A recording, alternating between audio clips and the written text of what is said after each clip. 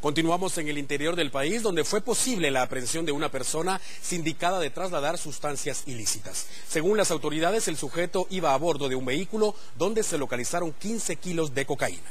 Nuestro corresponsal en Petén, Marvin Juárez, nos amplía la información.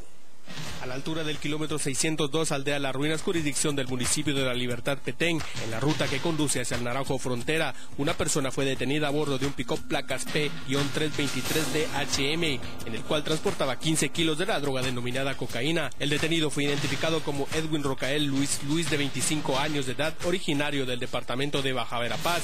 Al lugar se hicieron presentes personal de antinarcóticos con unidades caninas, juntamente con el Ministerio Público. Dentro del tanque combustible del vehículo se localizaron 15 kilos de cocaína. Así también se dio a conocer que otro de los vehículos sospechosos se dio a la fuga. Fuerzas de seguridad intentaron rastrearlo vía aérea con helicópteros y personal de Brigada Especial de Selva. Luis Luis fue trasladado al centro preventivo de Santa Elena Petén bajo fuertes medidas de seguridad, mientras que la cocaína incautada fue trasladada a las bodegas del Ministerio Público a la ciudad capital. Con imágenes de Lester Carvajal, desde Petén, Marvin Juárez.